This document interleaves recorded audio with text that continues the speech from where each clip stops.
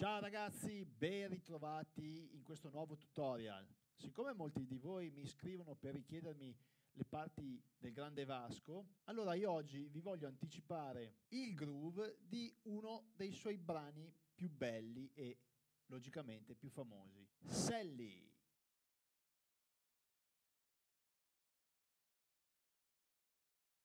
Vi ho detto anticiparvi perché a breve voglio pubblicare un tutorial con diversi groove dei suoi brani più belli. A questo proposito vi invito, se avete delle preferenze particolari, a scriverlo qua sotto nei commenti. Datemi un'idea così inseriamo un po' di groove che vi possono interessare. Altrimenti vi adagiate e vi prendete quel che viene.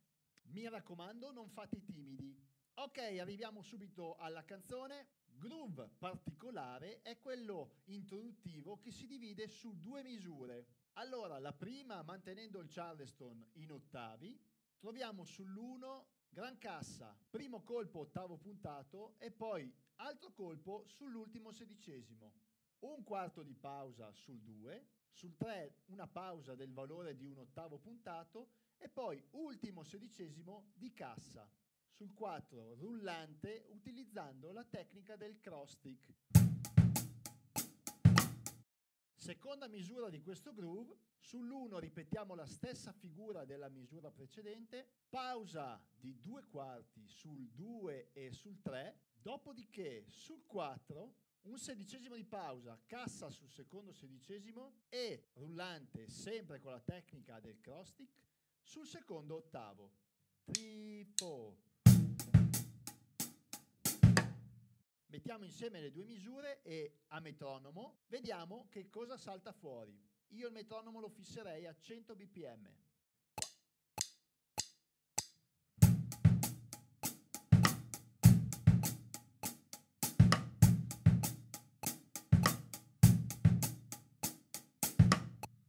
Stesso groove si ripete nella prima strofa mentre nella seconda strofa il groove principalmente sono due misure abbastanza simili che si ripetono.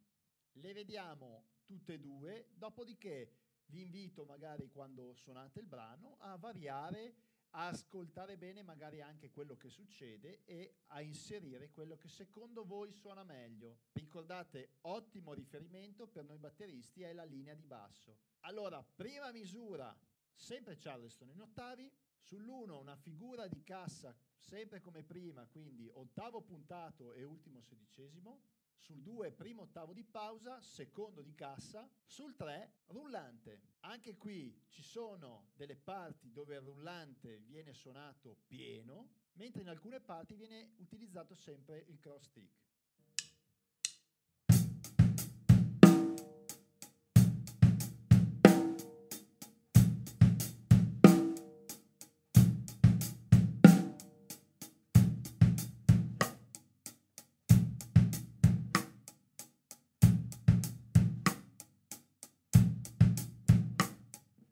Seconda misura, cambia solo la cassa sull'1 che suonerà sul battere.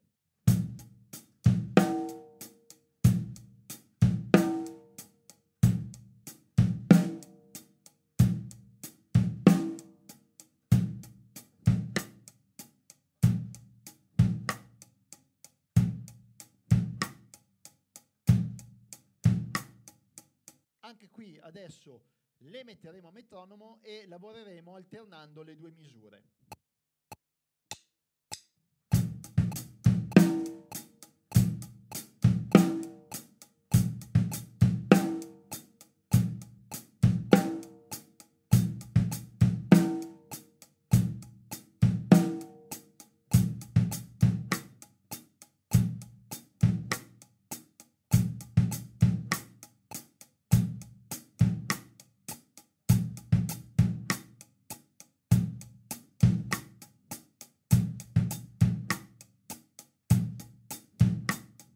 Quanto riguarda i feel, diciamo che in questo brano il grande Colaiuta ha dovuto lasciare come sempre la sua impronta. Tra tutti questi io ne ho preso uno in particolare che potrebbe essere un buon spunto per mettere alla prova la vostra creatività. Guardiamolo nel dettaglio. Partiamo con primo ottavo sul rullante, sul secondo ottavo abbiamo un sedicesimo ancora sul rullante e il secondo sedicesimo sul tom. Sul 2 troviamo pausa di un ottavo e secondo ottavo sul rullante con un bel flam. One. Sul 3 ottavo puntato sul rullante e ultimo sedicesimo di cassa. Sul 4, 4 sedicesimi, li ho messi in ordine rullante, primo tom, secondo tom, timpano, altrimenti potete fare anche rullante, primo tom e due colpi di timpano. Vediamo ora sul tempo come suona questo fill.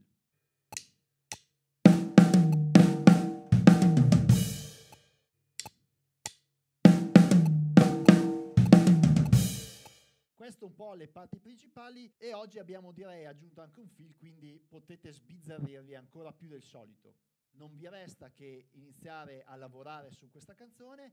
Mi raccomando, scaricate come sempre il PDF che trovate qui sotto e se vi è piaciuto questo video mettete un bel like e magari se volete fate anche qualche proposta per i prossimi tutorial. Ricordatevi, se non l'avete già fatto, di iscrivervi al canale e attivare le notifiche, così sarete sempre aggiornati su tutti i video che pubblicherò. Per questo tutorial è tutto, mi raccomando, ci vediamo prestissimo. Ciao e buon groove!